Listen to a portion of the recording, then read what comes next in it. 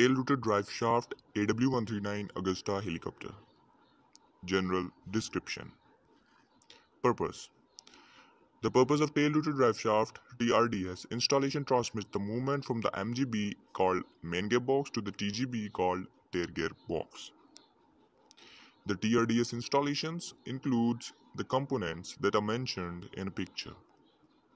Here is the picture of tail rotor drive components and also shafts are mentioned.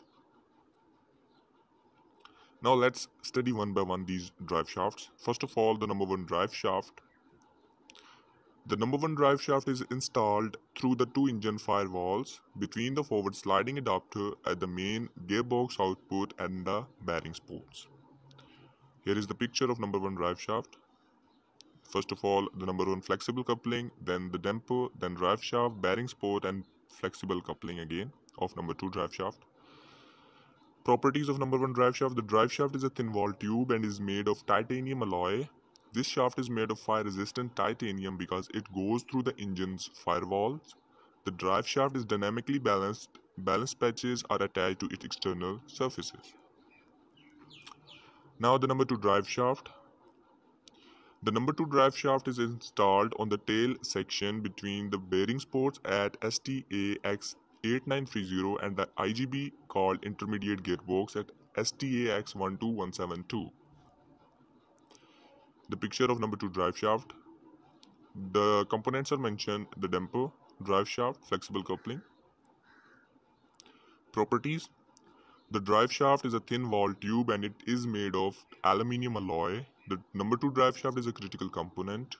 The number 2 drive shaft is dynamically balanced. Balance patches are attached to its external surface. Now the number 3 drive shaft.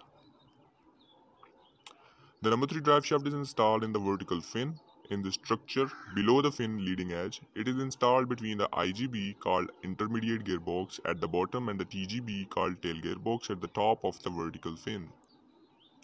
Here is the picture of number 3 drive shaft. Now the properties. The number 3 drive shaft is not a critical component like number 2 drive shaft. It is shorter than the other two drive shafts. It also turns at a slower RPM or speed. Thus the damper is not necessary. So the damper is not installed in number 3 drive shaft.